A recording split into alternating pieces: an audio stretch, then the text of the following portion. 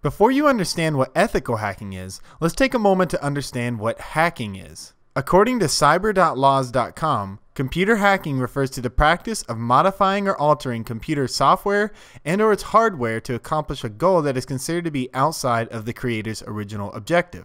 Basically, if you modify a software program or the hardware of a computer and use it in any way other than it was originally designed for, you're hacking. Of course, not all hacking is bad, and that's where we get into ethical hacking.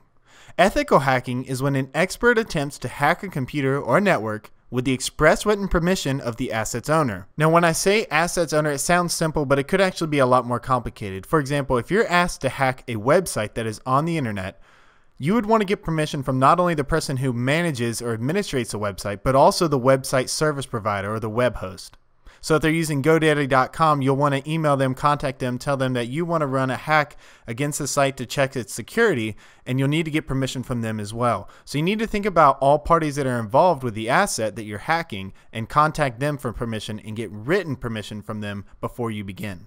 Now, an ethical hacker attempts to find exploits, vulnerabilities, or uses that a malicious attacker or hacking group could exploit or use to cause harm to the company.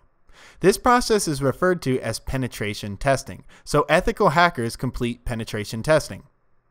The ethical hackers are paid to find these vulnerabilities first and make the company aware of the risks. The company can then take action to mitigate the risks, or they can accept them if the mitigations will interfere with day to day operations. Now, there are different types of penetration tests that can be completed against a target. For example, a white box penetration test is when ethical hackers have been provided with all available information about the subject they are testing. This information could include network diagrams, software source code, hardware components, or anything else that is related to the target.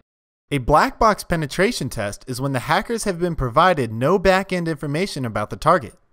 The purpose of this penetration test is to simulate as closely as possible how a malicious attacker might attempt to compromise a target without insider knowledge. While the requirements for different types of penetration tests may change, the one thing that doesn't, and the most important thing I want you guys to take away from this lecture, is that you need express written consent from all parties involved in this hack. Even if you're performing ethical hacking functions with no ill intent, you can still get into a lot of trouble if you don't have permission in writing. Now it's a good time to start talking about another type of hacker, the gray hat hacker. A gray hat hacker is a unique type of hacker because they are freelancers and operate without written consent. They are known to discover system weaknesses without written permission, but also without malicious intent. Their goal is to bring these flaws to the attention of the system owner so they can be corrected. A lot of times, a gray hat hacker is hoping to be compensated for giving the information to the company instead of a malicious hacking group. So even though the end result for the company they're hacking is good, a gray hat hacker is not an ethical hacker. Malicious hackers are called black hat hackers. Their main goal is to do damage and expose or steal data. A black hat hacker may try to steal information such as social security numbers, credit cards, personal identifiable information, bank account information, and much more.